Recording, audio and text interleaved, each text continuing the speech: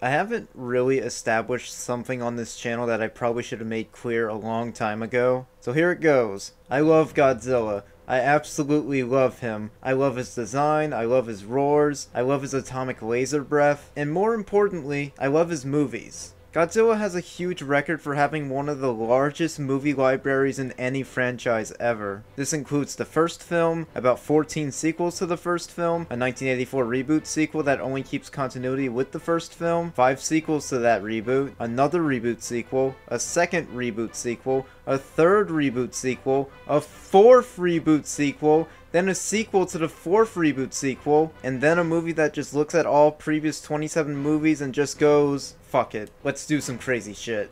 Wow.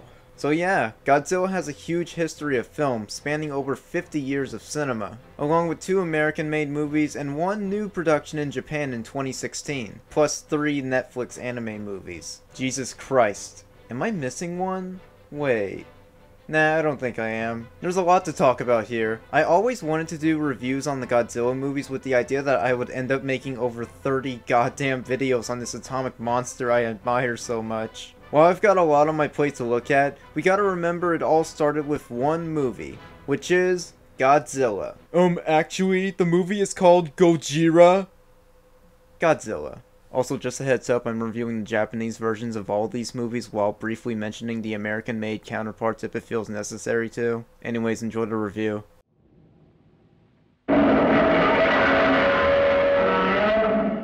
The first Godzilla actually came to fruition from a rather dark side of Tokyo's history. It was 1954, nearly one decade after World War II ended. Japan was in a pretty poor state after the bombings of Hiroshima and Nagasaki, which killed hundreds of thousands of their civilians. Needless to say, the US and Japan weren't on good terms after the war.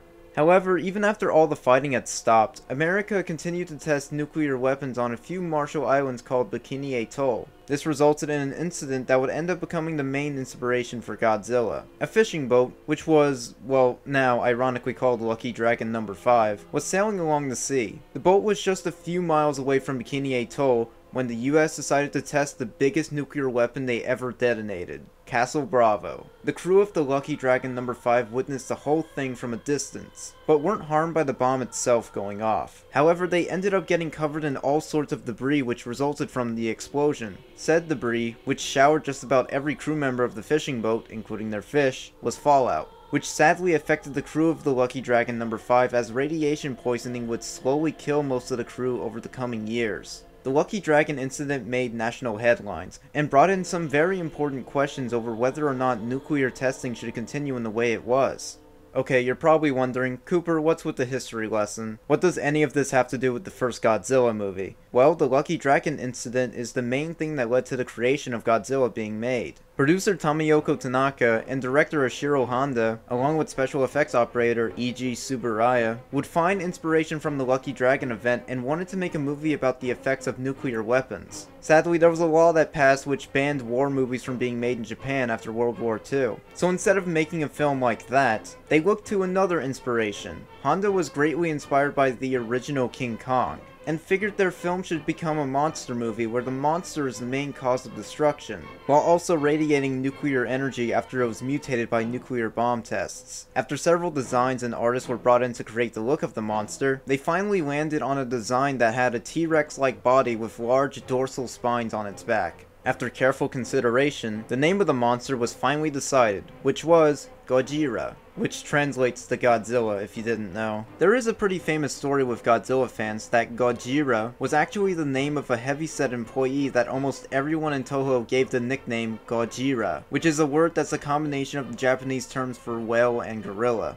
Wow which is a funny story and stood as the main source of the Gojira name for years. Even I believed the story for a good while. However, in Happy Dragon Pictures' Godzilla review, he played a clip of where Ishiro Honda's widow said she never believed the story, and said that her husband, Tanaka, and Tsuburaya probably came up with the name after careful consideration instead. Really, just believe what you want to believe at this point. Also, watch Happy Dragon Pictures review after watching mine. It is, like, the best Godzilla review analysis ever made by a non-fan, which is crazy. So that was the origin of Godzilla, but what's the actual movie like? Well, it opens with a fishing boat being attacked by a giant monster, directly taken from the Lucky Dragon incident as I mentioned earlier. After the boat incident in the film, the people of Tokyo are perplexed as to what caused the destruction of said boat, along with a few more encounters of the civilians with a giant monster, which ends up being given the name Gojira, or Godzilla. What's interesting about this first movie in comparison to the over 30 follow-ups is that this is one of the very few that takes itself incredibly seriously. The fictional incidents in the movie aren't over the top like other ones. It still gets me whenever I rewatch this movie. With other Godzilla movies, I just sort of pop them in to rewatch the fun monster fights.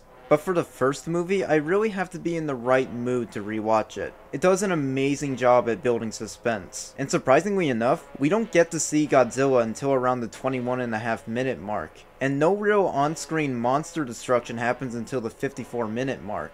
Godzilla's hardly in the film. This movie really plays like a slow burn, so it's also not the easiest to recommend to newbies who have never seen a single one of these Godzilla movies. That's kind of what makes the original movie so unique though. It's almost nothing like the other movies, and that's really helped its legacy grow strong. It's not just a good monster movie, it's a good all-around movie. It's more than just a product of its time. What also helps the film are the human characters. I think I'm one of the rare Godzilla fans who actually doesn't mind the human characters in these movies, mainly because, like with any other movie, when they're written right, they can be just as entertaining as the monster scenes. The main characters include Dr. Yamane, who's working with the officials on how they could stop Godzilla, Hideto Ogata, who's seen causing an affair with Amiko Yamane, Dr. Yamane's daughter, but who's probably the most important character in this movie is Dr. Serizawa, a doctor working on numerous experiments, one of which that not only could lead to the demise of Godzilla, but perhaps all of mankind if it's put in the wrong hands. I'm gonna delve into spoiler territory for the human parts right now, so skip to this point in the video if you don't want to get this part spoiled.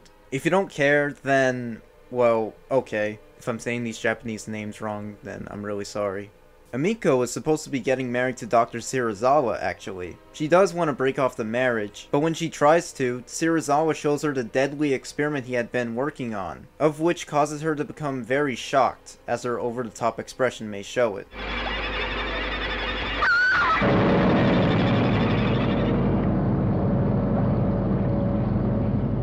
Afterwards, Amiko swears to Serizawa that she won't speak a word about the experiment to anyone else, until she breaks down to Ogata and tells him everything about Serizawa's experiment. The experiment in question is called the Oxygen Destroyer, which has the ability to disintegrate all oxygen in water and can also reduce living organisms to bone. It's very out there. But then again, this is the same franchise that'll end up giving us this.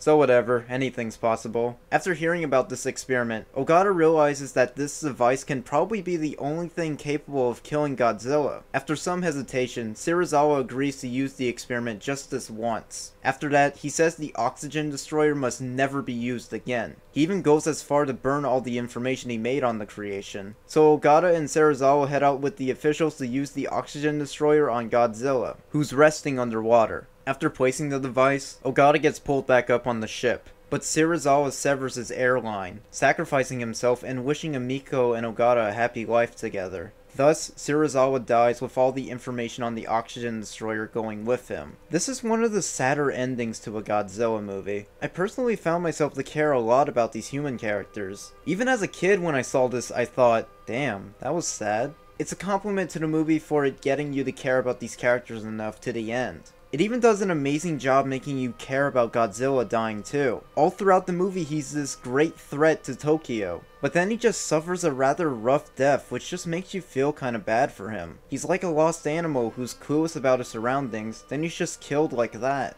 Poor thing.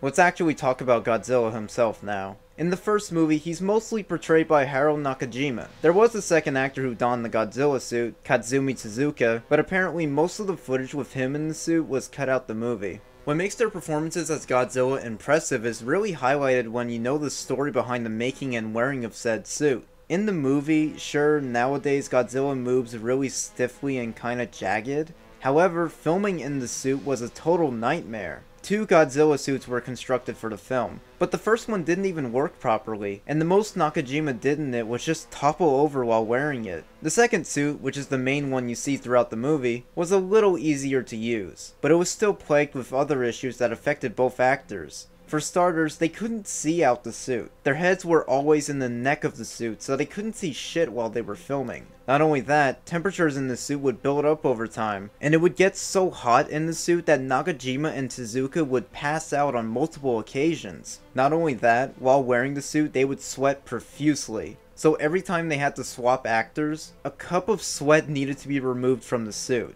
Gross. I tell you all this because it really helps highlight a lot of the aspects about Godzilla. You can just see the effort both Nakajima and Tezuka put into making sure Godzilla looked good in motion while they were shooting the movie. With the restraints of the suit in mind, thankfully the most Godzilla does in this movie is just walk around and knock a few things over, but even that wasn't easy to film. Bless these two for doing their best, it really paid off in the end. A puppet was also used for most of the close-up shots of Godzilla in the movie, and especially for his first on-screen appearance. The puppet doesn't look too great, but the visual effects, for the most part, are still pretty fascinating to witness. I love how we see Godzilla placed in this scene carefully for his first appearance. I still think it looks impressive. I just love the practical effects work in this movie. People joke that it's just a guy in a rubber suit knocking down cardboard buildings and stuff, but it's the amount of effort that went into these effects that really make it a work of art. I love how they make Godzilla appear large by filming at low angles and shrouding most of the film in darkness. Yeah, yeah, it's in black and white, but I love the look of the movie. It has this haunting presence in it throughout the entire film. It really makes the scenes of Godzilla destroying Tokyo landmarks and buildings a lot more scary in a way. Another thing that greatly enhances this movie is the film score by Akira Ifukube, a composer who would go on to score multiple Godzilla movies after this first one, all the way up to Godzilla vs. Destoroyah in 1995. What a trooper. His score for the first movie adds a lot to that extra layer of haunting factors throughout the entire film. It really highlights Godzilla's presence amazingly in every scene, and the main theme of the movie is so iconic that it would appear in literally almost every other Godzilla movie. It's an amazing composition, accompanied by Godzilla's vigorous roars and loud stomping, both of which that Ifukube created himself. For the stomping, he once knocked over his speakers by accident, but he really liked the sound that it created. So he just recorded himself kicking his speakers. Yeah, that works. And for Godzilla's iconic roar, it was actually created by Ifukube covering a leather glove in some type of lubricant or something, and recorded himself rubbing it against a bass instrument, to which he just simply slowed down the recording of it. That is fucking amazing. This whole movie's pretty amazing. I'd recommend it to anyone who likes old-timely movies like this, and if you don't mind watching foreign films in black and white. It's a riveting story, and a great commentary on the use of nuclear weapons and the monsters it could end up creating for mankind. Such a powerful metaphor. Great movie.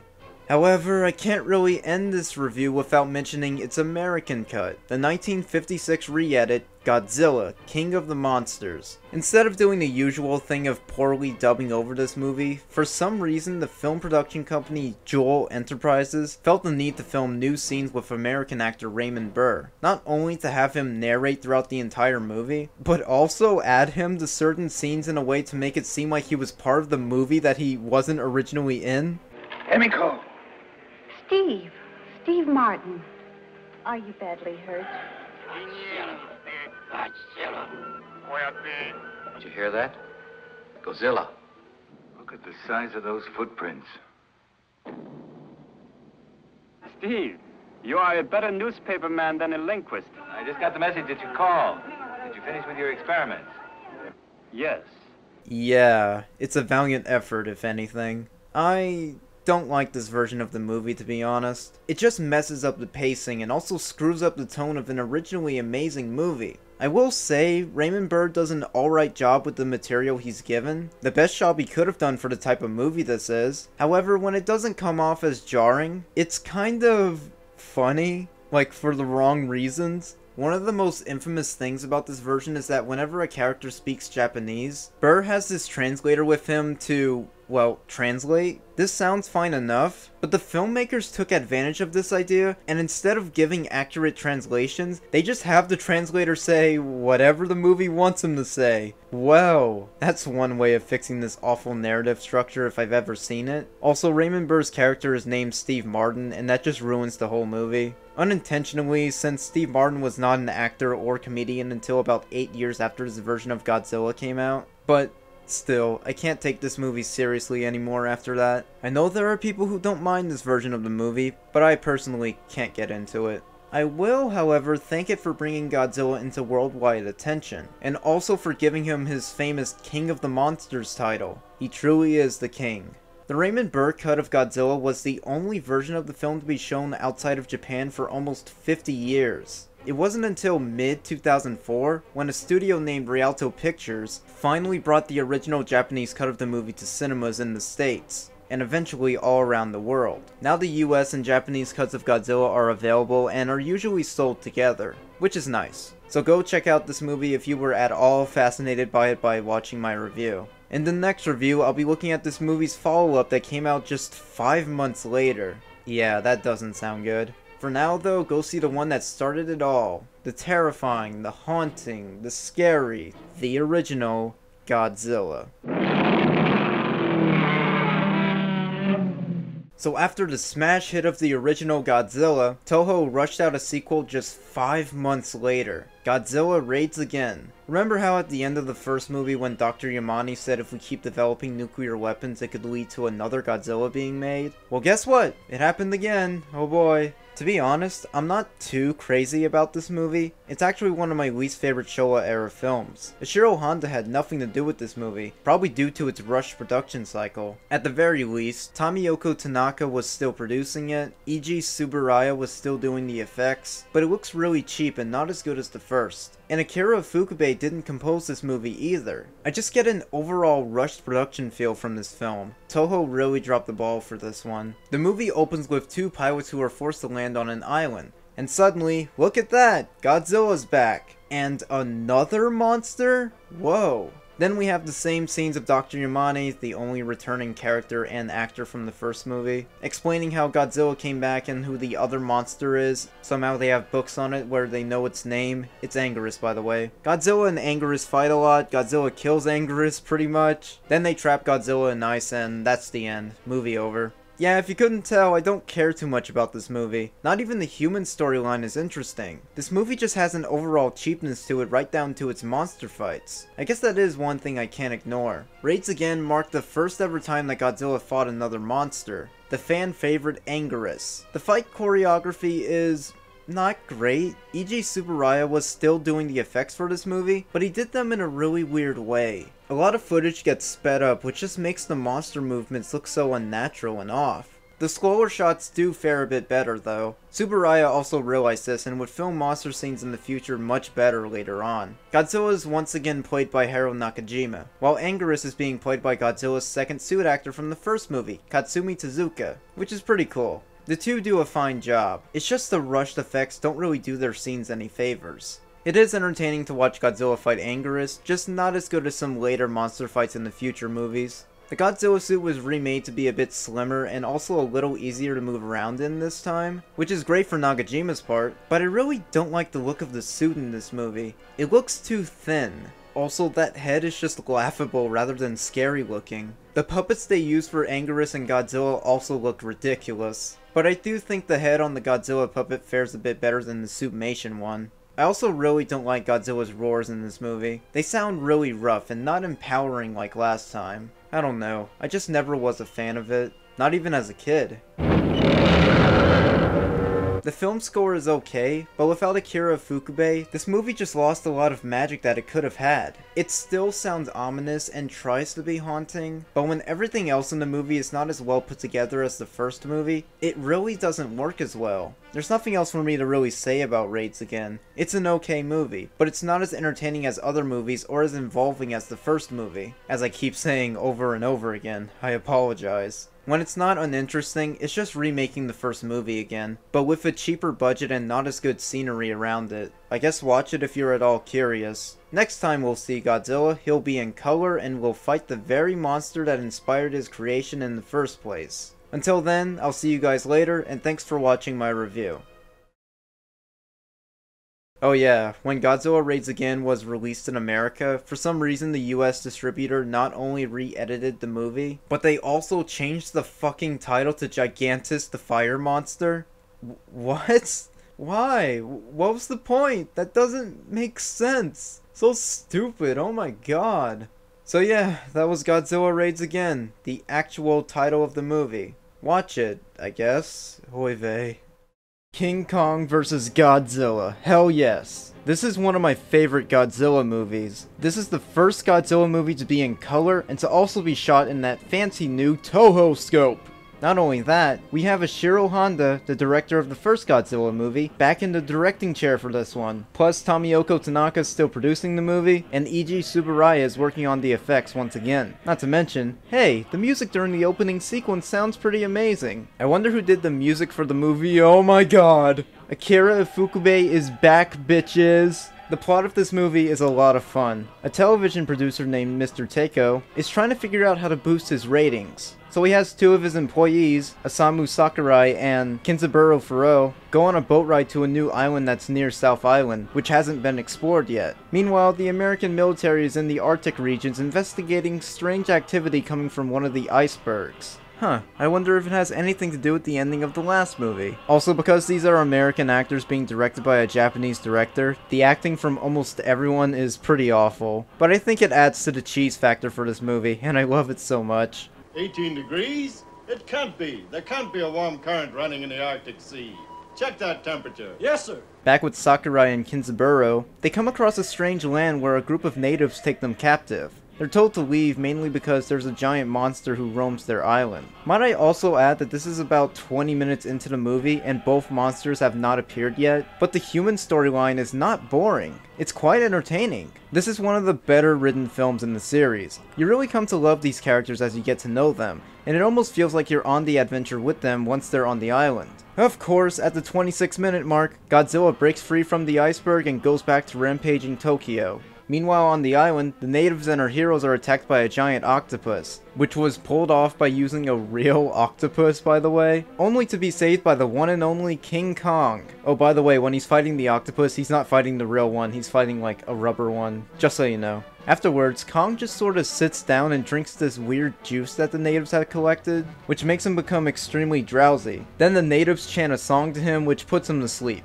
Before leaving the island, Sakurai and Kintsaburo decide to capture King Kong and take him back to Mr. Takeo, who's happy that they caught a giant monster since it should boost up his ratings. However, Kong starts waking up during the boat ride back, and they're forced to release them so their ship won't get pulled down by Kong. Afterwards, the movie consists of Kong going around Japan and somewhat reenacting the original 1933 King Kong film. He even picks up a random girl and climbs up a building to get away from the military. It's also discovered that electricity makes Kong stronger, which was not a character trait he always had. But whatever, this version of Kong has superpowers, screw it. At the same time, Godzilla is still roaming around and wrecking shit up, and even has a brief encounter with Kong around the one hour mark, which by the way, this movie really does not feel its length, at all. That is a huge compliment. Like I said, this first encounter is pretty brief, which sounds a little disappointing since this is supposed to be King Kong versus Godzilla. However, this wasn't the big fight of the movie. Just you wait. Anyways, Kong climbs a large building. Takeo, Sakurai, and Kinzaburo realize that they could use the same chant that the natives used to put Kong asleep and stop his rampage. This proves successful. Then a group of soldiers attach Kong's body to a bunch of giant balloons. Then Kong gets taken away by a group of helicopters. This looks absolutely ridiculous. I love this movie. It turns out the helicopters are taking Kong to Godzilla because everyone realizes that Kong is probably the only one who could stop him. And after 1 hour and 25 minutes, King Kong fights Godzilla and it is a phenomenal fight. It's so damn entertaining. At first, Godzilla fights off Kong without much effort using his atomic breath and powerful strength, so Kong really is at a disadvantage in the fight. Then Kong gets struck by lightning, and the true battle finally begins. Kong swings Godzilla by his tail and just starts wailing on him. Then Kong just shoves a tree down Godzilla's throat. It's hilarious. They trample over a bunch of buildings while pushing onto each other. Then there's that fun shot of them being little hand puppets. And Kong just keeps wailing on Godzilla throughout the fight. Until they reach this pagoda building which is absolutely destroyed by both of them. It's crazy. Holy shit. I also love how at the beginning of the fight, Godzilla is the one taking charge, but then after Kong gets stronger, Godzilla tries to run away from him. It's such a funny detail. So they destroy the pagoda building, which is a repeating thing in almost every movie, so be on the lookout for that. Then Kong tackles Godzilla into the water, and there's no clear winner.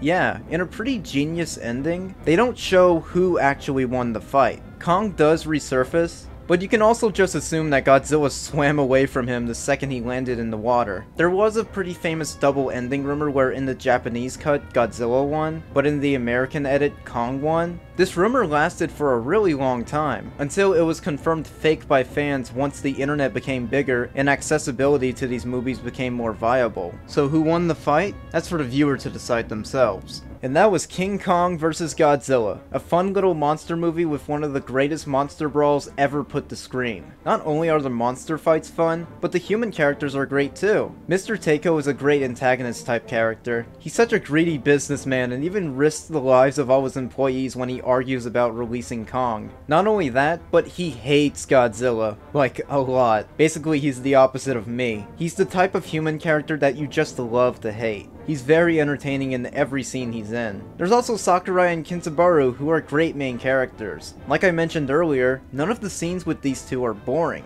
They're both very likable and do a great job carrying the movie when the monsters aren't on screen. Now let's talk about the two main stars. Godzilla is given a new look in this movie, and I love this design for him. He's quite a thick boy, along with having the most lizard-like head he's ever had. It's one of the best designs he was ever given. One fun fact about Godzilla suits is that each one was given a nickname by Toho whenever they were finished constructing them. So the 1954 suit was called Shodai Goji, and the Raids Again suit was called Gyakushi Goji. The Godzilla suit in King Kong vs. Godzilla was actually called King Goji, which is awesome. Another thing I love about Godzilla in this movie is how goofy his personality is. This was the first movie to start portraying Godzilla in a much lighter tone. I love how in his first encounter with Kong, he just shoots his atomic breath at him, then he does a little dance and waves his arms around. He's such a bitch. And that's still Hiro Nakajima playing Godzilla, and he must have been having a total blast playing him in this movie. Godzilla's roars are also incredibly good in this one. Some of my favorite Godzilla roars of all time. Check it out.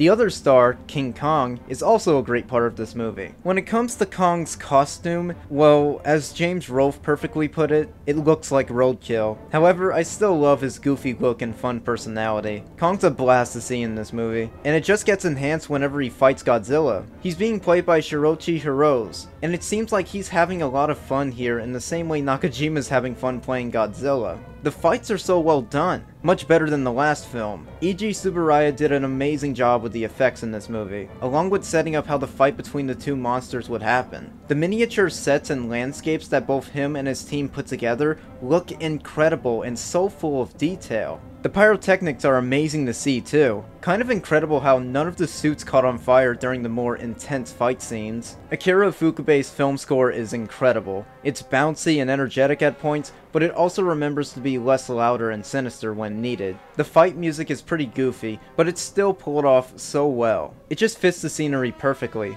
This is one of my favorite Godzilla soundtracks by far. It has one of my favorite rearrangements of the Godzilla theme, and the opening credits sound incredible. Ifukube really outdid himself here. It's amazing. King Kong vs. Godzilla is a fun, fun monster movie, but like I briefly mentioned earlier, it did have a different American version. This version did have new scenes shot with American actors, and in probably its worst offense, it took out Akira Ifukube's amazing film score and replaced it with a bunch of placeholder music from Universal horror movies. For horror fans, that's great for them, but for Godzilla fans, we really miss out on an amazing soundtrack. I haven't watched the US cut in full, and I have no real interest in doing so. Sadly, for several decades, the American cut of King Kong vs. Godzilla was the only version of the film to be released in the US. It seemed like the Japanese cut would never be brought over due to legal reasons with Universal owning the distribution rights. All seemed lost, until the Criterion Collection came down from the heavens and gave us the soon-to-be-released Godzilla the Showa Era Films collection. This very collection will, for the first time ever, have the original Japanese cut of King Kong vs. Godzilla included. The US cut is also there too, so everyone wins. I can't wait for that collection to come out, and I am definitely picking it up whenever I can. Damn the huge price, but it's so worth it. Until then, track down the Japanese cut of King Kong vs. Godzilla anywhere online. Archive.org. then sit back and watch a fun Japanese monster movie. I can't recommend this film enough. It's a total blast. The next time we see Godzilla, he'll be fighting against another giant monster who also had their own movie just a few years earlier. Mothra vs. Godzilla. Here we go. Not to be confused with the 1992 movie of a similar namesake. Whenever they brought this movie over to America, for some reason they changed the title to Godzilla vs. the Thing. Yeah. This film acts as not just a sequel to King Kong vs. Godzilla, but also the 1961 movie, Mothra, which was about a giant caterpillar monster named Mothra who gets upset when her twin fairies are kidnapped by a bunch of greedy businessmen. So she goes on a rampage and eventually becomes a fully grown butterfly. The plot of Mothra vs. Godzilla is quite similar. Mothra lays an egg this time, but a hurricane washes it away and causes it to go ashore, where some more greedy businessmen try to make some money off of it. Not only that, the twin fairies try to beg the businessmen to let the egg go, otherwise Mothra is going to become angered yet again. They don't listen to them and attempt to kidnap the fairies, but they escape. The twin fairies end up in the hands of our three main protagonists, who tell them the same story about Mothra wrecking havoc if her egg isn't returned. In fact, she's already here and ready. Oh no. The three try to get the businessmen to listen to their reasoning, but of course all they want to do is just buy the fairies off the three of them. Greedy bastards. So the wrath of Mothra may seem imminent, but the twin fairies mention that Mothra has actually gotten much older since the last movie and is right on the brink of death. However, she's going to be the only source of hope they have against another problem that literally emerges. What problem? Oh, I don't know, Godzilla? Who rises out the ground and proceeds to destroy Japan some more. Jesus Christ, this is like the most unlucky place on Earth. So it's up to Mothra to use her last bit of energy to stop Godzilla and protect her egg, because I guess Godzilla wants to eat it for some reason. The plot is enjoyable, and a great excuse to see some amazing practical effects work by Eiji Tsuburaya once again. Throughout the movie, we see the military attempting to stop Godzilla. What we get are amazing sequences of a bunch of explosive and multiple projectiles being sent at Godzilla. We already saw similar stuff in previous movies, but this is where it's really the main focus, as Godzilla is shown to be pretty much indestructible. Nothing can bring him down. Tanks, missiles, electric barriers, a giant net, nothing works. He's a literal god. Eiji Tsuburaya did an amazing job with the effects. Perhaps a bit too good of a job because the Godzilla suit actually catches on fire in this movie.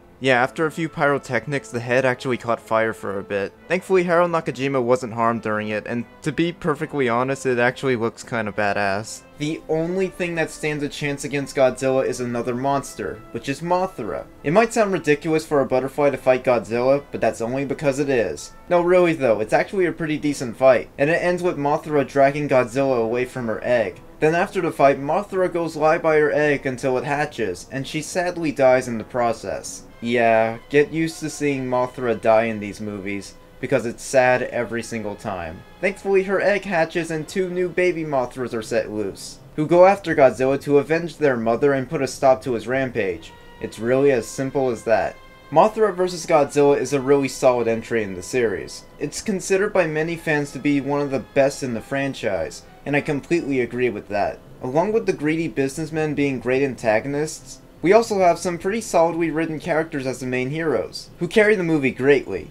Not to mention the twin fairies, who are actually played by a vocalist pair called the Peanuts, who both do a really good job in the roles just like they did in the original Mothra. And according to Ishiro Honda, he was pleasantly surprised by how professional they were about being actors, since they were only known as singers and these roles were some of their first acting jobs. Bravo! And they would later go on to reprise the roles in future films. Of course, I gotta talk about Godzilla for a bit again, who's completely brutal in this movie. He's given a new design too, codenamed Masu Goji, and it's the classic Godzilla design that just about looks perfect. Has the right head shape and a good structure all around. Godzilla's scenes, again, mostly consist of demonstrations of how absolutely powerful he is against regular weapons. It's simple, but entertaining which can just about be said about the movie itself. Yeah, I don't really have a whole lot to say about this flick. Just check it out for yourself. It's a good movie and I highly recommend it. That's pretty much it.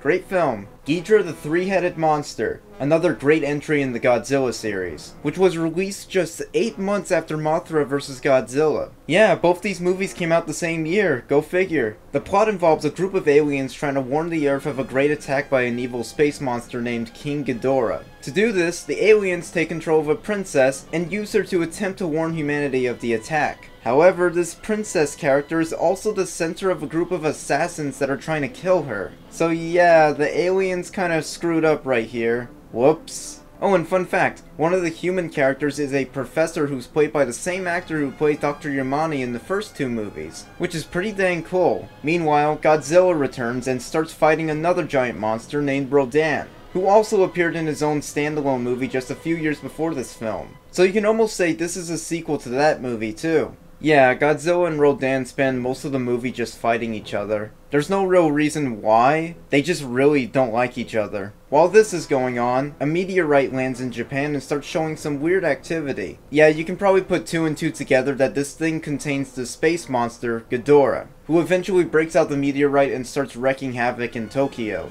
The only thing capable of stopping Ghidorah are another group of monsters, but Godzilla and Rodan are still fighting each other while Ghidorah is destroying everything. So the only way to bring balance to all of this is another monster, one of Mothra's offspring from the last movie. The other offspring sadly died off screen, so there's only one Mothra now. This leads to my favorite scene in the movie where Mothra tries to reason with Godzilla and Rodan, who initially don't want to help stop Ghidorah to save the Earth because they don't care. This scene is fascinating because this is the first ever time we hear what Godzilla's perspective on humans are, which apparently Rodan agrees with him and they decide to stop fighting each other, but they still don't want to help Mothra. It's interesting to see a bit more of the monster's personalities, and it's all thanks to the fun writing from the dialogue of the twin fairies translating the monster's speech. It's one of the biggest highlights of the whole series to me. So after that talk proved unsuccessful, Mothra heads out to go fight Ghidorah. And yeah, it doesn't work out too well. Thankfully, Godzilla and Rodan have a change of heart and decide to help defeat Ghidorah. This is where the movie gets real good. It was already pretty solid with its human story and the fights between Godzilla and Rodan were already pretty fun too.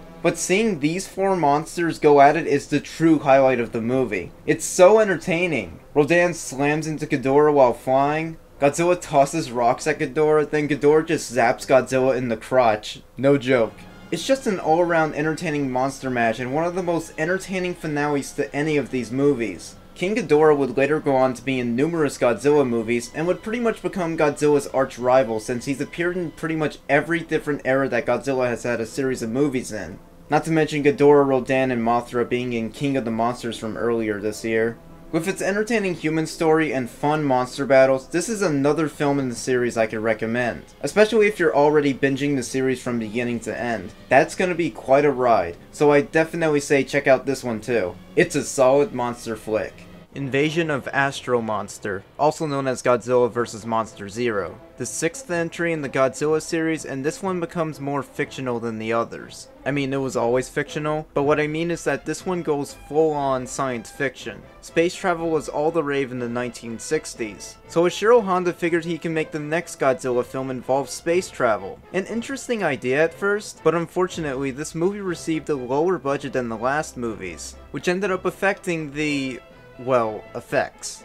Honda was quite disappointed in this since even Godzilla fans at the time complained that the effects didn't look as good, which was probably discouraging to him since this would be the last Godzilla movie he'd direct for a while. Not only was this Honda's stopping point, this would also be the last film to have famed effects director Eiji Tsuburaya do the effects for a Godzilla movie, while he'd stay as a supervisor for later movies up until his death in 1970. Plus, Akira Ifukube made this his last Godzilla movie he'd composed for a while too.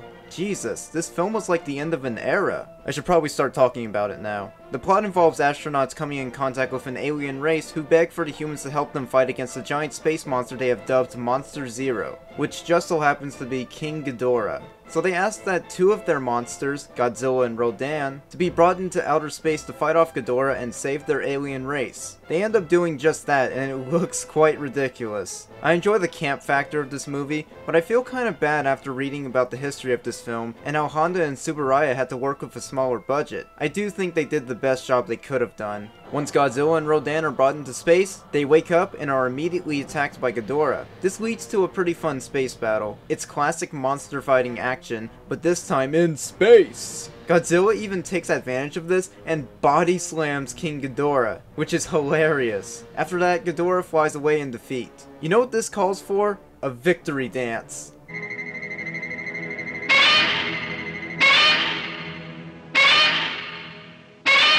I love that gif. Godzilla and Rodan are returned to Earth, but a twist ends up occurring. It turns out King Ghidorah was under the control of the aliens all along, and they eventually take control of Godzilla and Rodan too, so they set the three monsters loose to try and take over the planet.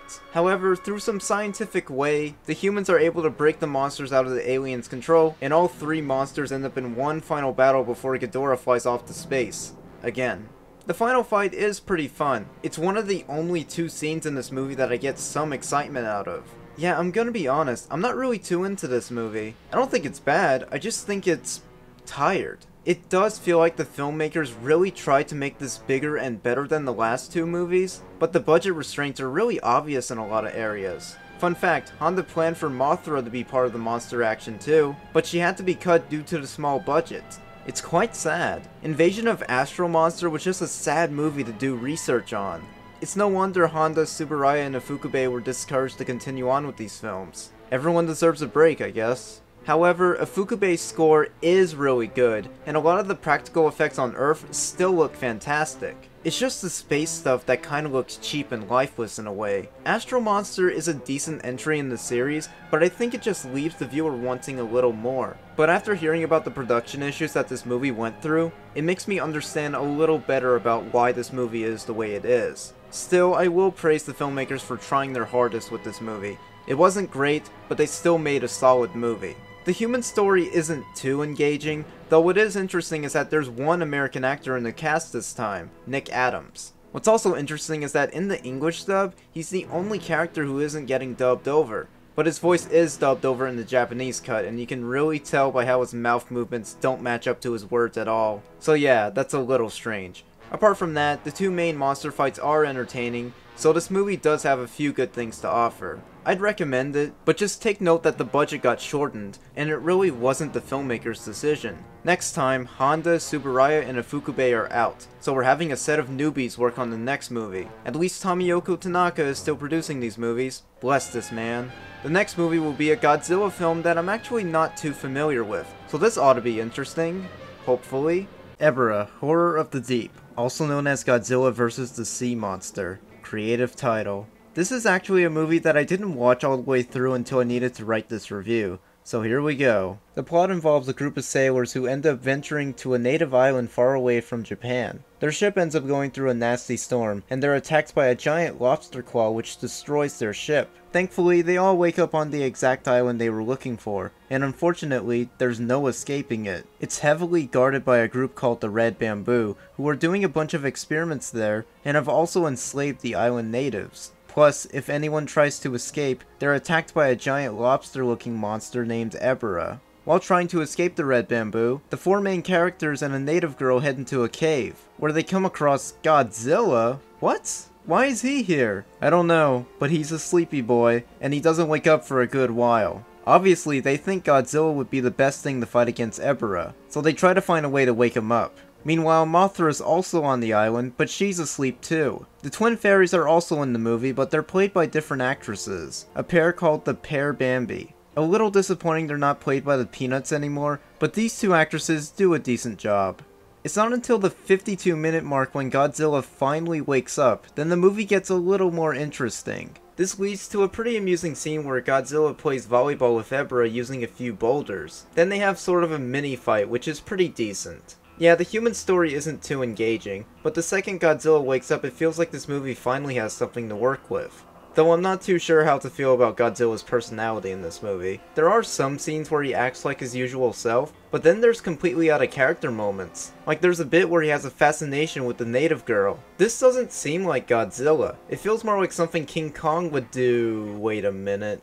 Okay, so apparently this movie was originally going to be starring Kong, but they changed it to Godzilla at the last minute, and didn't bother changing anything else in the script. Which is why Godzilla acts a little differently in this movie. Plus, Godzilla gets woken up by electricity. If we remember in King Kong vs. Godzilla, Kong was powered by electricity. So this adds up to the theory that Kong was supposed to be the star of the movie, not Godzilla. Even then, Godzilla is still the best part of the movie. Though there is one scene where he fights a bird, and the cinematography looks absolutely awful. It's all zoomed in and crappy, probably to try to hide the not so great special effects. This was the first Godzilla movie to not have Eiji Tsuburaya as the effects director, and it's kind of obvious. Some of the practical sets look alright, and the fight scenes with Godzilla and Ebirah are well staged. Some of the other sets just look okay. The music is also different, but I wouldn't call it bad. It has a very heavy emphasis on using surfer music, which sorta dates the score in a way, as opposed to the previous composer, Akira Ifukube, whose compositions in the previous movies were timeless and memorable. The Ebirah soundtrack is very of its time. Not too sure how to feel about that. So, yeah, Ebirah Horror of the Deep is an okay movie. It just takes a good while to get to the actual monster action. The fights with Ebirah are entertaining. The Godzilla suit was revamped a little, making it fit better for the underwater scenes, it seems. The name of this suit is Daisenso Goji, and it's also the same suit that they used in Invasion of Astro Monster, in case you wanted to know. Oh yeah, there's also a brief fight with Mothra at the end, but it's incredibly short. This also leads to the island exploding. Oh, spoilers? Yeah, this one wasn't super great, but check it out if you guys were interested, I guess. Next time, we're gonna look at another odd entry in the series, but this one's actually one of my favorites in the franchise, so I'm excited. Son of Godzilla. Oh boy. This is a film that fans either love or hate. I'm sorry to say, but I think I love this movie. It's one of my favorites in the Showa era. It's such a unique movie in the series. Just from the opening, you get a good sense of how the film is gonna play out. The music's all bouncy and whimsical. It just has an infectiously sweet tone to it throughout. Let's start with the plot. A group of researchers are having weather experiments on Infant Island, which is the main location of where all the monsters live, including Godzilla. It's also inhabited with giant mantises who terrorize the researchers on multiple occasions. One day, the researchers end up finding a giant egg on the island that the mantises start to break apart. Inside is a little baby monster that the mantises continue to bully and harm. That is until Godzilla shows up to beat the ever-living shit out of the mantises. Yeah, that's right, the baby is Godzilla's. He's a daddy now. I love this design for Godzilla because he looks so goofy. This suit was dubbed Musuko Goji, but I love referring to this design as Momzilla, since Godzilla's a parent now. Yeah, let's start calling this design that name. Deal? Cool. What's also important to notice that this was the first Godzilla movie where Haruo Nakajima was not playing Godzilla most of the time. He does play Godzilla in all the water scenes, but when on land, Musuko Goji is being played mainly by another actor, Hiroshi Sekita. While I'm usually against another actor playing the Big G, Hiroshi actually does a really solid job, so I commend him for taking this role from such a legendary suit actor like Nakajima. He's a good replacement. Nakajima and Hiroshi would actually play side by side in another movie called War of the Gargantuas. Also, I think Nakajima couldn't be in the entire movie because he was already busy playing King Kong in another movie that got released the same year as this one, King Kong Escapes. But I'm getting off topic right now. Anyways, Godzilla beats the crap out of the mantises for harming his son, but then he slams him with his own tail then walks away. Wow, Godzilla's kind of a mean dad. While Godzilla's away, his son, who's called Minya by the way, comes across a native girl who gives him some fruit that'll make him grow up big and strong. Eat your veggies, kids. After that, Godzilla returns and lets Minya hop on his tail for a little ride. Aww. Some time goes by and Minya grows up a little, and is also being taught a few lessons by his dad. This leads to my most favorite scene in the movie, and also one of my favorite scenes in the whole franchise. In a really amusing scene, we see Godzilla teaching his kid how to roar,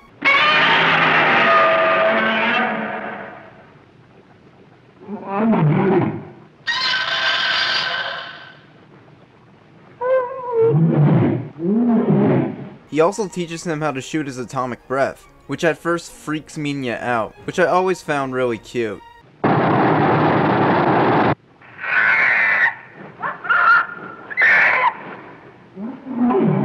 Godzilla is super harsh on Minya, but does seem encouraging towards teaching him these things. At first Minya can only puff little smoke rings, until Godzilla steps on his tail, then he can blast his full atomic breath at max. This is such an adorable scene, it may seem like they jumped the shark by making Godzilla apparent in this movie, but I praise the filmmakers for coming up with such an outlandish idea, and I love it so much. I never thought seeing Godzilla as a dad would be so entertaining.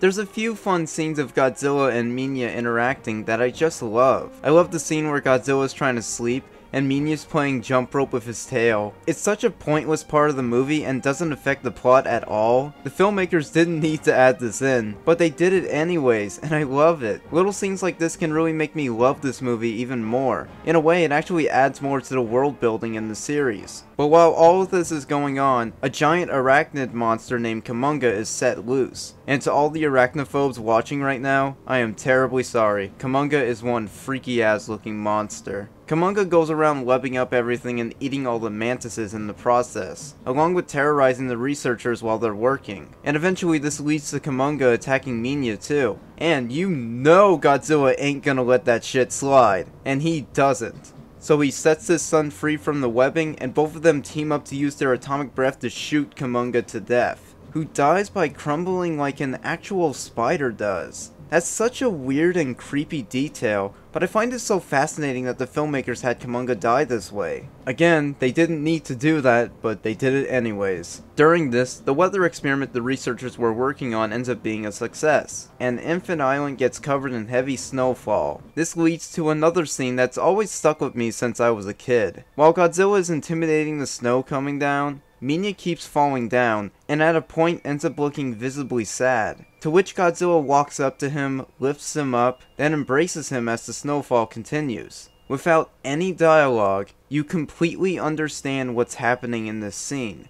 and that's brilliant. This is one of the most touching endings to a Godzilla movie, and it's one that'll definitely stick with me until the end of time. Son of Godzilla is a fun, weird, but very sweet monster movie. It's one of the most outlandish ideas ever put into these movies, but I think the delivery of said idea was done very well. I really love all the fun scenes with Godzilla and Minya interacting. The stuff with the humans is also pretty interesting, the monster fights are spectacular to view, and even the soundtrack is full of a lot of range from it being bouncy and whimsical at the start, to even being scary near the end, and downright beautiful during the final scene.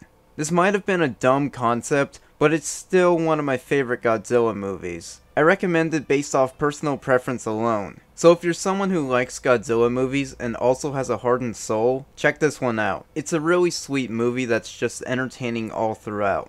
Not bad for the now 8th entry in the Godzilla series. Next time, we're going to be looking at a movie that was initially planned to be the end of all the monster action from Toho. Destroy All Monsters awesome title. What was originally meant not just to be the last Godzilla movie, but also the last Monster Mash production by Toho. So to go all out, they brought back Ishiro Honda to direct, Akira Ifukube to compose, and even Eiji Tsuburaya to work on the effects with the current effects director. They really wanted this to be the end, but obviously plans changed, but we'll cover the other movies later. In this timeline, all the monsters are safe and secure on Infant Island. And when I say all the monsters, I mean all the monsters. This includes Godzilla and his son, Rodan, Mothra, another monster named Gorosaurus, Anguirus, wait, isn't Anguirus supposed to be dead? Then again, Kumonga is also in this movie, and he literally died in the last film, so I guess anything's possible in this series. The movie also takes place in the future, the year 1999. Okay, it's not the future anymore, but you know what I mean. The plot involves a group of astronauts who come in contact with an alien race who decide to mind control the monsters and set them loose on numerous locations on Earth. Yeah, it's pretty much the plot of Invasion of Astro Monster again, but done on a much larger scale. This is actually where I think the movie goes a little downhill. Most of the movie is just about the humans trying to stop the aliens from controlling the monsters in order to stop all the destruction it's not super interesting, being perfectly honest. And that's coming from someone who usually doesn't mind the human parts of these monster movies. We do get to see the monsters destroy all sorts of cities on Earth, but they're very few in between, and I think the movie could have used a little more scenes with the monsters. Thankfully, my wish gets granted around the end of the movie, as all the monsters end up on Mount Fuji together, and then King Ghidorah appears out of nowhere. Why? Who cares? We got us an awesome monster fight coming up! This is the big highlight of the movie, and I wish we had more monster fights like these earlier. The ending battle is so entertaining and it's great just seeing all these monsters share screen time together. You can really tell that Ishiro Honda and the rest of the crew were just having fun with this final battle. I like the bit where Anguirus chomps on Ghidorah's neck, then gets lifted in the air, then he gets dropped, and god, seeing the ground crumble after Anguirus' impact, such a great detail. Then Godzilla and the other monsters team up and ambush Ghidorah, and they plummet that bastard into the ground. Godzilla stomps on one of Ghidorah's necks, Anguirus takes care of another one of the heads, and even Minya gets to strangle the last living head with his puff ring. God, they are just so relentless on that some bitch. It's great, and that's the end of King Ghidorah, at least in this timeline. After that, Godzilla kicks into the alien base, basically destroying it, and that's the end of the movie. I love the last shots of Godzilla and the rest of the crew on Infant Island. If this was gonna be the last monster movie by Toho, I'm glad they thought of doing the ending like this with shots of all the monsters pretty much saying goodbye to the camera. It's rather touching.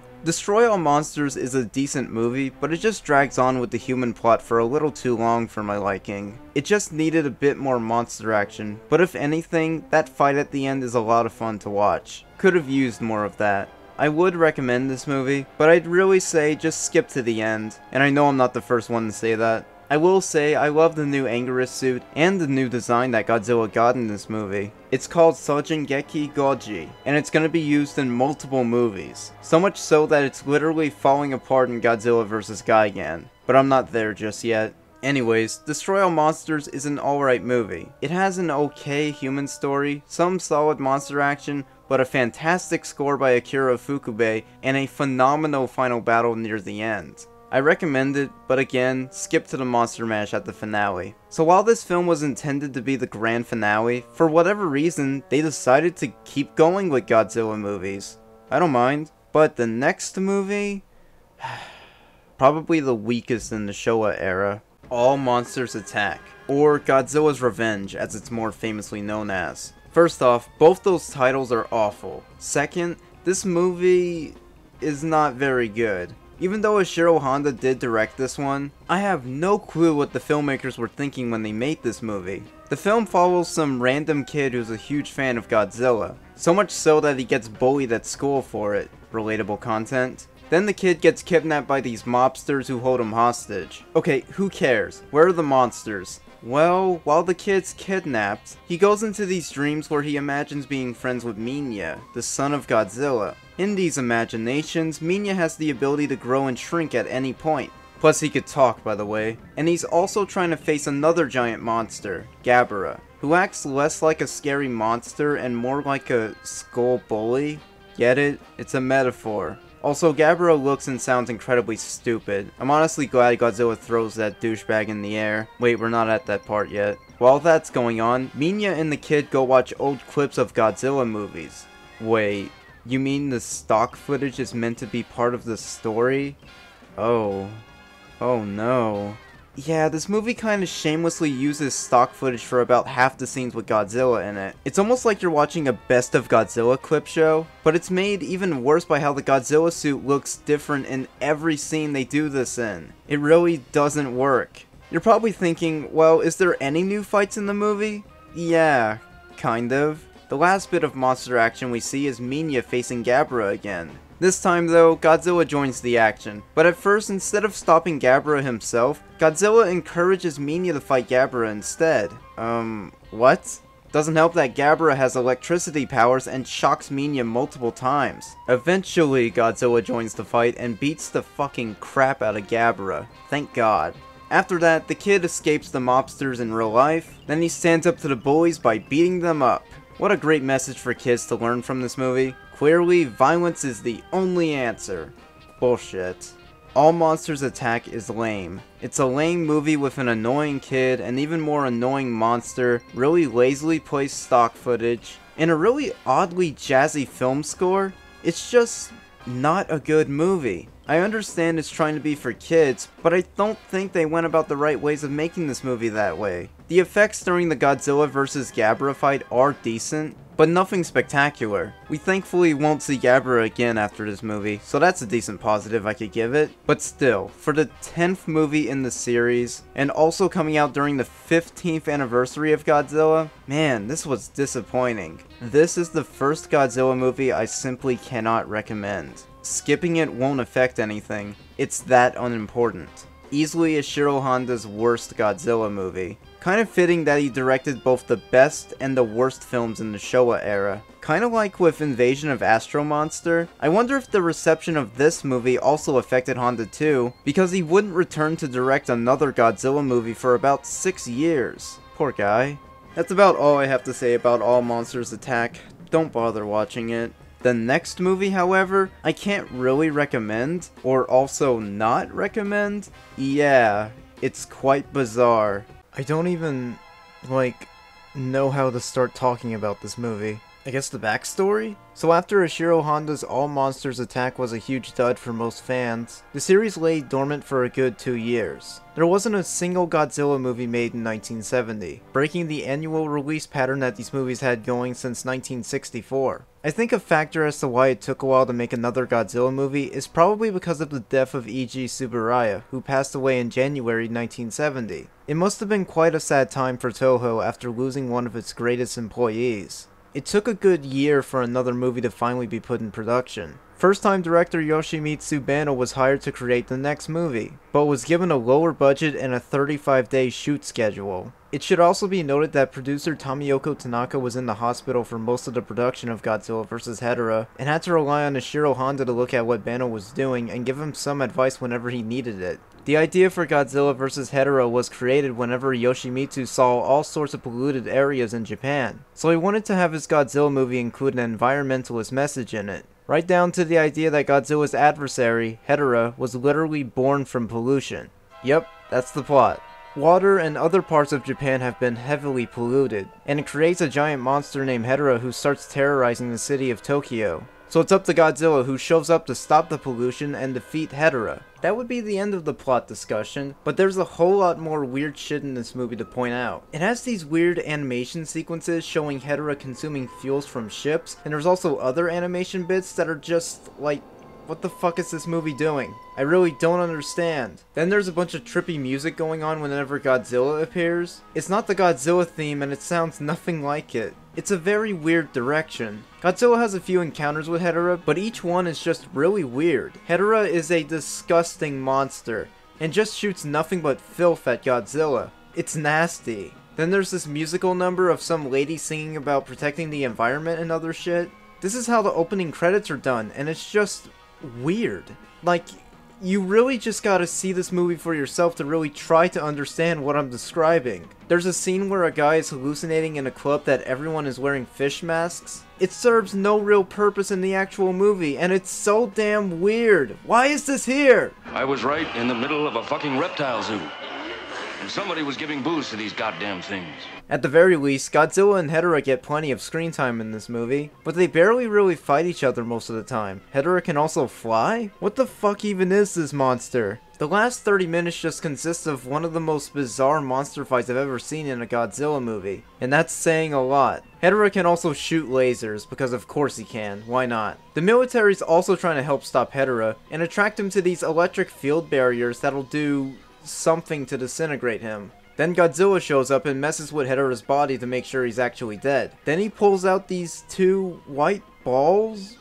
What? What are these, and why? Okay, well, they disintegrated. What now? So Godzilla tosses a rock at the Hedorah corpse, but it turns out Hedorah's still alive and just flies away. So Godzilla decides to fly after him. Yes, Godzilla flies.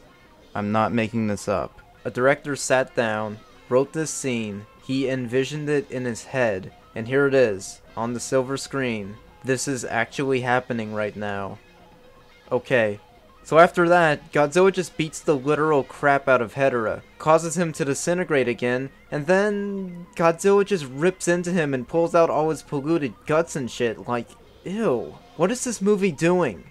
Like honestly, this is just me describing all the monster scenes, but there's a lot of just weird fucking shit spread throughout this movie. Anyways, after Godzilla defeats Hedorah, he just leaves. Fuck it, he deserves to. This movie was so damn weird. Godzilla vs. Hedorah is one of the most bizarre things I've ever watched. I agree with protecting the environment and all, but this movie went about the weirdest goddamn way of trying to convey this. I wouldn't watch this to help myself feel good about protecting the environment. The only reason I'd rewatch this movie is just to have a bizarre experience for the next 85 minutes. That's what this movie is. It's not a movie, it's an experience. This is why I say I can't really not recommend it, because I honestly think that everyone on the planet should watch this movie at least once in their lives, just for the weird experience it offers. With its weird editing, goofy music, and just oddball scenes, this is such an outlandish and bizarre entry in the Godzilla series. I guess this is what 10 sequels can really do to a franchise. Yikes. You know who didn't like this movie so much? Tomoyuki Tanaka. He actually hated this movie, and even went as far to tell Yoshimitsu Banno that he, quote, ruined Godzilla. Damn, that's rough. What's sad is that even though Yoshimitsu was banned from directing another Godzilla movie ever again, he was really hoping that a Hedorah sequel would end up happening. He even mentioned this as recent as 2014 that he still wanted to make it. He stayed pretty prominent about making it for a good while, until he sadly passed away in 2017. The Hedorah sequel was never made and probably won't see the light of day, ever. What a way to end this journey of a weird fucking movie. I'm moving on before this film does more weird shit to my brain after melting it already. Next time, we're gonna sadly talk about another stinker in the Godzilla series. Godzilla vs. Gigan, a pretty weak entry in the series. The original idea for this movie is that it was going to be called King Ghidorah's Great Counterattack, and it would have starred Godzilla, Anguirus, and Varan fighting against Ghidorah and two new monsters, Gigan and Magu. Then it was reworked into Godzilla vs. the Space Monsters, which still had Godzilla and Anguirus, but they were teaming up with a new character named Majin Tuol, and the three were gonna fight against Ghidorah, Gigan, and Megalon. Yes, Megalon was gonna appear in this movie. Until the script got reworked one final time which ended up cutting out both this Majin monster and Megalon from the final movie. As we all know, Megalon would appear in the next Godzilla movie, Godzilla vs. Megalon. Plus, this Majin Tuol character would later be changed to King Caesar in Godzilla vs. Mechagodzilla, but we're not at these films quite yet. The plot of Godzilla vs. Gigan involves a cartoonist who gets involved with figuring out that one of his agencies is a group of evil cockroach aliens that are trying to destroy the world using King Ghidorah and Gigan. So it's up to Godzilla and Anguirus to show up and stop them, while the humans are also trying to find a way to stop the cockroaches. Yeah, this is kind of a weird plot. Not weirder than the last movie, but it's still very out there. Oh, and the cockroaches want to destroy the planet because of all our wars and because of pollution? Well, I guess they just needed to tie this in with the last movie somehow. Ghidorah and Gigan are also being controlled by the cockroaches as well, so that's a thing. That's pretty much the whole plot in a nutshell. Okay, I think my biggest problem with this movie is how slowly paced it is. It takes forever for any monster fighting action to occur. Gigan, who's apparently the main baddie in the movie, doesn't even appear until about 45 minutes in. Even then, the monster fights themselves are kinda underwhelming. I think it just feels tired, really. I mean, this was the 12th entry in the series, so I guess what else could they have done that would have been more interesting? Well, the movie does try to do a few new things, I guess. For starters, we see the monsters have actual dialogue. Yeah, they have little speech bubbles that pop up and tell us what they're saying. It's really odd to see. I have no idea why these were necessary. Another thing that's a little unnecessary is that when Godzilla and Anguirus talk, their roars sound like they're being rewound on a record player.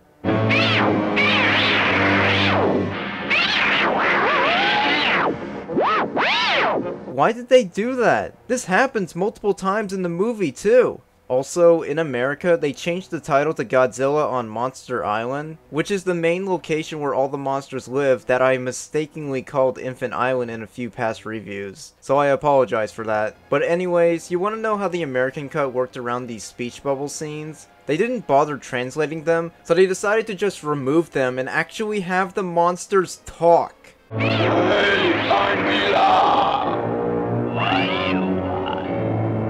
Something funny going on. You better. Oh, yeah. Hurry up. What the fuck? Why did they do that? It just sounds so stupid. So after 58 minutes in, Godzilla and Anguirus arrive to fight Ghidorah and Gigan. Like I said earlier though, it's not very entertaining. It's all slow and monotonous. It's just not all that fun watching a slow fight. You also may be wondering, how is Ghidorah alive when Godzilla and company bodied that bastard and destroy all monsters? Well, Destroy All Monsters took place in 1999, but I'm pretty sure Godzilla vs. Gigan is set in 1972, the year the movie came out. So there's that explanation if you wanted it. Okay, let's talk about Gigan, who's actually one of my favorite Godzilla monsters, even though his debut movie kinda sucks. I just love his overall design. Those metal hooks for hands and feet is an interesting choice. Plus that buzzsaw on his stomach looks rad. Not to mention, I really like his roar. It sounds so mechanical and perfect for his character. It's pretty odd to see Gigan be the monster Godzilla is mainly facing in this movie, especially considering Ghidorah is here and is usually the main baddie for Godzilla to face. Fun fact by the way, Gigan is being played by Kenpachiro Satsuma, who would later go on to play Godzilla in the Heisei movies. Interesting to see he got his start in these early 70s movies. He was even playing Hedorah in the previous movie. But back to Gigan. Oh, those hooks in that buzzsaw? Those ain't for show, he uses them. He actually causes Godzilla to bleed. What the fuck? Yeah, he scrapes his shoulder and pokes his head. Then Godzilla starts bleeding. Why was this necessary? Anguirus even bleeds. He runs straight into Gigan's buzzsaw. Ew. Was this really important to show? This movie is so odd. What's even odder is that it's using stock footage from previous movies, mainly due to budgetary reasons. And no, it doesn't work. It's about as bad as when they did this in All Monsters Attack. However, it does have one fight highlight. Godzilla holds Ghidorah in place, and Anguirus flies his spikes at Ghidorah's stomach. That was pretty amusing. It's like the only part of this fight that I enjoyed. The rest of it is just, as I said, slow and boring. It just looks so jagged and tired. Plus the Godzilla suit's even falling apart. You can see parts of it dangling off. Jesus Christ guys, I think it's time for a new suit. I love this design and all, but I think it just needs to be retired. It clearly can't hold out for much longer. Is the movie's soundtrack any good? Well, you may notice on Wikipedia that Akira Ifukube was listed as the composer, which sounds great at first, However, the only reason why he's credited is because Toho couldn't afford to make a new score for the movie, so they just recycled a bunch of music from their older movies to save money. God damn it. Though ironically, the soundtrack is probably the best part of the movie. Another thing, this is also the last Godzilla movie where Haruo Nakajima played Godzilla. He'd retire from the role afterwards, and if I recall, I think he was quoted once saying he wasn't having as much fun playing the role anymore after Eiji Tsuburaya stopped being the effects director. Kind of sad that he chose to stop at this shitty movie of all choices, but then again, he had been playing the role almost constantly for nearly two decades. He deserved to retire. So thank you Haruo Nakajima for your service as being the original Godzilla suit actor. Your legacy may be remembered for ages, and may you rest in peace. Yeah, there's nothing else to say about Godzilla vs. Gigan, other than that it's a lazy and odd movie in the series that I just can't recommend watching. Maybe if you're having bad insomnia and need a movie that'll put you to sleep, then I guess give this a watch. I could barely make it through this movie on a first time viewing, and sure as hell couldn't stand watching it a second time. It's a weak entry in the series, don't watch it, just skip it. The next movie I'll be looking at is actually the first Godzilla movie I ever looked up and watched for myself over a decade ago, so it's kind of a special movie to me.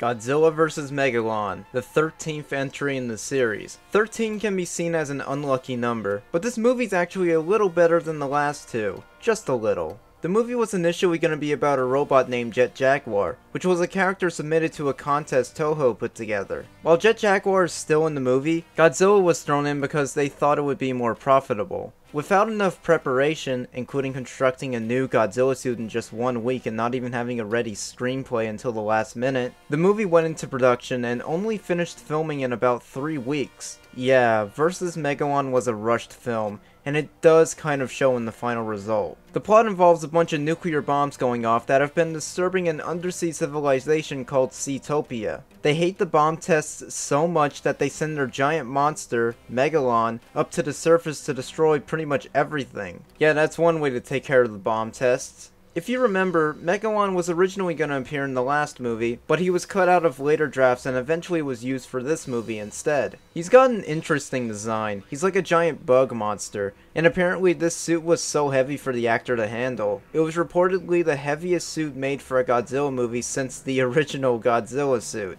Wow. So with Megalon destroying everything, the main human characters put together a robot named Jet Jaguar, who they use for it to go call for Godzilla so both of them can team up to stop Megalon. The human story isn't too interesting, being honest. Some bad guys take control of Jet Jaguar, but they eventually resolve that around the 50 minute mark, and Jet Jaguar heads out to stop Megalon on his own at first, with Godzilla on his way to help. Seeing Jet Jaguar as a threat, the Seatopians called a space hunter Nebula M and asked them if they could use Gigan to fight Jet Jaguar with Megalon.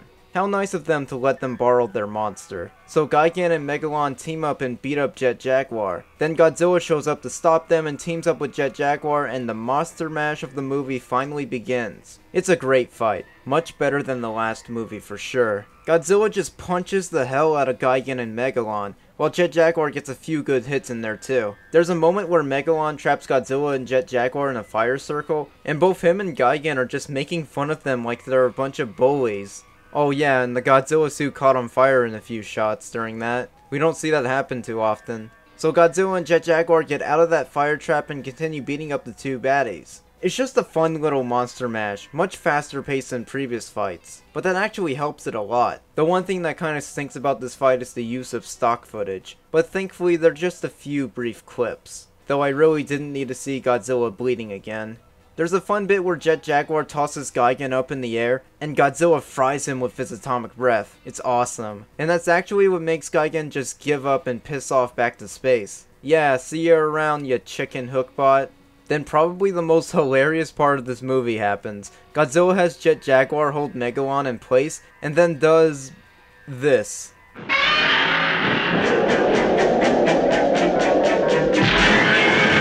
Holy shit, that was awesome. Then guess what? We get to see it happen again! Yay! It's so ridiculous to see, but I love that shit! It's so wacky and crazy. After that godlike move, Megalon just flies away in defeat. Hell yeah, we won. Jet Jaguar thanks Godzilla for his help, and that's kind of the end of the movie. Godzilla vs. Megalon is a lot of fun. While I mentioned the human story isn't too interesting, it's also not too horribly boring either. The monster fight is the true highlight, and I do recommend checking that out because it's the best part of the movie. I gotta say, the Godzilla design may have been rushed, it was apparently the fastest Godzilla suit ever built, but I love the face on the suit. Godzilla looks like a puppy. The suit was called Megaro Goji, and it's one of my favorites. It was also the first Godzilla design I was ever introduced to, since this was the first Godzilla movie I ever looked up and actually watched in full. Yeah, back when YouTube didn't have copyright strikes up the ass and people would just upload movies in full through multiple parts. Those were the days. So I kind of do have some nostalgia at play for this movie, which is why I'm going pretty easy on it. It's just a fun little monster movie and I recommend checking this one out. Though interestingly enough, while Godzilla was added in to make the movie more money, the film actually only sold 980,000 tickets in Japan, making it one of the first Godzilla movies not to sell over a million tickets, which is quite sad. However, it fared a little better in the States since it made over $300,000 in its first three days in Texas and Louisiana alone. Interesting. I'm guessing the poster of the two monsters on top of the World Trade Center really helped sell the movie. This poster is ridiculous, and the proportions of the monster sizes do not add up. Why did they make this poster? Well, if it helped sell more tickets, which it kinda did, then I guess it worked. My grandpa also took my dad to go see this movie in theaters as well. Yeah, I just felt like sharing that. Anyways, Godzilla vs. Megalon isn't technically good, but I still think it's a fun movie and I would recommend checking it out over the last two movies in the series. Next time we're gonna look at another pretty solid entry in the franchise. The original Godzilla vs. Mechagodzilla, not to be confused with other movies of similar titles. This is a great entry in the series, and it's one of my definite favorites as well. It was made in 1974, the 20th anniversary of Godzilla, so you know they weren't gonna mess this one up. The plot involves a prophecy being told about a giant monster being sent to destroy the world, but two other monsters will stand up and fight against it. The monster in question turns out to be... Godzilla? What? Wasn't he being portrayed as a hero in the last couple of movies? How strange. Anyways, Godzilla shows up and starts wreaking havoc. He then stumbles across Anguirus, and the two have a pretty decent fight. It ends with Godzilla ripping Anguirus' jaw open, which is pretty gory. I always felt so bad for Anguirus here, and this would end up being his last scene he'd ever be in until Godzilla Final Wars. Poor little guy. What a way to go out. Also, during the fight, Angerus scrapes off a piece of Godzilla's skin, and we see a shiny piece of metal underneath it. What? Hmm. Anyways, Godzilla goes off and starts destroying a city. While doing so, he comes across Godzilla? What? That's right, this Godzilla was a fake all along, and the real Godzilla is just as confused as we are. So Godzilla breaks off more of the skin on the fake Godzilla until it finally reveals itself to be none other than Mecha Godzilla. A robot adversary of Godzilla who's loaded with laser eyes and a lot of firepower that actually puts Godzilla out of commission for a good while. We then go back to focusing on the humans, who thankfully aren't too boring in this movie. It turns out Mechagodzilla was constructed by a group of space apes from outer space. Yep, space apes, who reveal their true form whenever harmed or killed. It's pretty bonkers. Later on, we see Godzilla again, but he keeps getting struck by lightning. Jeez, this just hasn't been his movie. Meanwhile, there's this special statue that the space apes were trying to go after, but it's used to break apart a mountain that's containing the third monster in the movie, King Caesar, who is a sleepy boy. It turns out he has to be sung to to be woken up, which one of the main characters does for him. This song lasts about 4 minutes, as opposed to what other people claim it lasts for. It's nowhere near as long as James Rolfe made it out to be. Trust me. After being sung to, King Caesar wakes up to a massive explosion. Epic.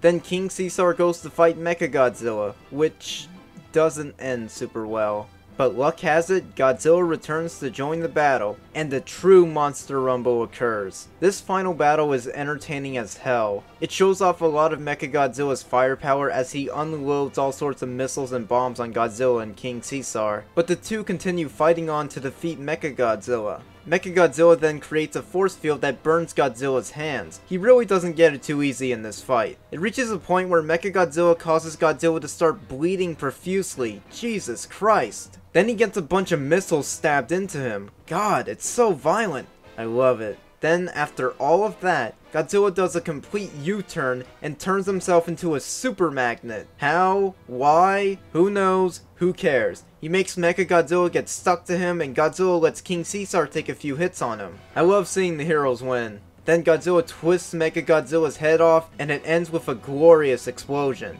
Also, the space apes get defeated as well. Caesar goes back to bed, and Godzilla heads back to the ocean. Yay, happy ending. Godzilla vs. Mechagodzilla is a spectacular movie. It has an entertaining human story with great pacing and a lot of fun monster fights throughout. It may get a bit gory for some, but I just found this movie so enjoyable to watch. The soundtrack is absolutely outlandish, but it completely fits the movie so well. This is one of the crazier Godzilla movies, but that's what makes it so great. I recommend checking this one out. It's a bomb, and it was followed by a direct sequel afterwards, Terror of Mechagodzilla, the sequel to Godzilla vs. Mechagodzilla, and the final film in the Showa era of Godzilla movies. I'm gonna assume this was meant to be the end at the time because Ishiro Honda returned to grace this movie, and also Akira Ifukube. Yeah, they brought him back to do the soundtrack. Yes! This is gonna be great. I love how the movie opens with flashback footage of the first Mechagodzilla movie, almost like a previously on Godzilla segment. The plot involves the aliens returning and rebuilding Mechagodzilla to destroy Japan once again. This time they team up with an evil scientist named Dr. Mifune,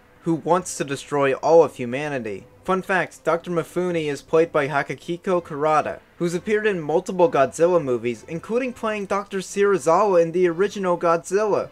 Wow, cool to see him and Ishiro Honda working together again. Also fitting that he plays a scientist in the first and last movies. One benefit about teaming up with Dr. Mifune is that he's taken over the mind of a giant monster, Titanosaurus, an aquatic monster that Mifune and the aliens use to destroy cities with Mechagodzilla. Godzilla doesn't appear in the actual movie until about 45 minutes in, which sounds like a long time, but trust me when I say it is hella worth the wait. Titanosaurus is set loose to destroy a few cities, but during his rampage, a silhouette appears in the distance to which one of the most badass introductions ever occurs. Watch.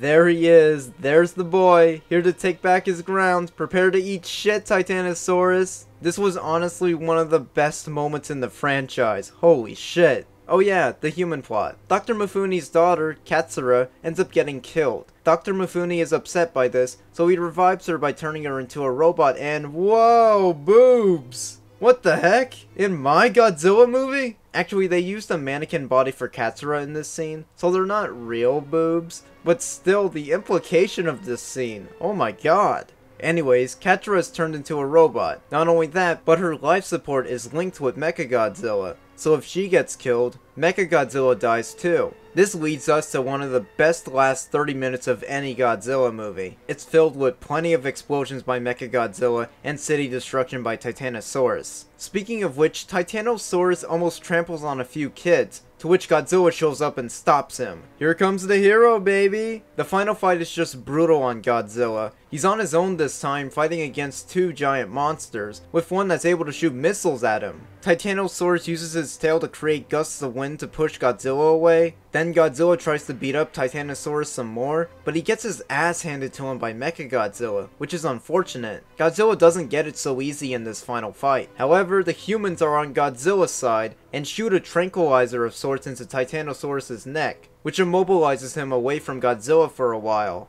Mechagodzilla nearly stops the humans, but surprise bitch, Godzilla's still alive and kicking. God, it is satisfying seeing Godzilla rise back up after getting the shit kicked out of him. Then Mechagodzilla just unleashes everything it's got on Godzilla, and it's super extreme. It even catches the suit on fire for a bit.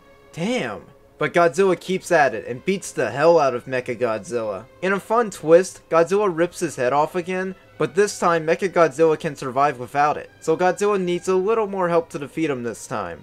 Back with the human plot, Dr. Mifune and the aliens are eventually stopped and killed. Another character, Akira Ichinose, is in love with Mifune's daughter, Katsura. However, she explains to him that she must be killed in order to stop Mechagodzilla. But Akira can't bring himself to do it because he loves her too much. Then in a dark turn, Katsura kills herself, disabling Mechagodzilla. Aw, that's sad. But at least Godzilla is able to finish off Mechagodzilla and fries that some bitch. He also takes care of Titanosaurus while he's at it, and he does not let up on him. He just blasts him with his atomic breath and watches him fall over and die. Damn. After that, Akira brings Katsura out in laser on the ground, as he watches Godzilla head out to sea one final time. Yeah, it's kind of crazy how Godzilla doesn't die in this movie, when this was meant to be the last film in the series for a good while. It's a bittersweet ending to the movie, and it's always stuck with me. Such an entertaining finale to this film. Way to go, Ishiro Honda. Sadly, even though this movie was well received by fans, it didn't do too well at the box office. Like Godzilla vs. Megalon, it only sold about 980,000 tickets in Japan, making this and Megalon the only two Godzilla movies not to sell a million tickets. It didn't do any better in America when it was released here as The Terror of Godzilla, somewhat passing off as if Godzilla is the main villain in the movie. Um, what moron made that choice? Aside from that, Terror of Mechagodzilla is a solid movie and one of the best in the Showa era. It has an amazing finale and one of the best monster fights ever. A great way to end off this era of Godzilla. Along with Ishiro Honda's directing career, it's kind of fitting that he was the one who started the Showa era, and now he's the one who ends it. What a great movie for his career to go out on. Though there were plans to bring him back for 1993's Godzilla vs. Mechagodzilla 2, but he sadly passed away before production began. Rest in peace, man. Still, Terror of Mechagodzilla is one of the best in the series, and it's absolutely one of my favorites, and I highly recommend checking this one out if you watched the first Mechagodzilla movie. It's a great sequel, and it may even be better than the previous movie. Great monster fights, a great soundtrack, great cinematography, great miniatures and practical effects, great movie. And thus, as Godzilla goes off in the ocean at the end of this movie, we've also met the end of the original Godzilla series. Phew, that sure took a while to talk about. I love Godzilla, you guys. Well, that wraps it up. I'll see you all in the Heisei era next, so thanks for watching. Yay!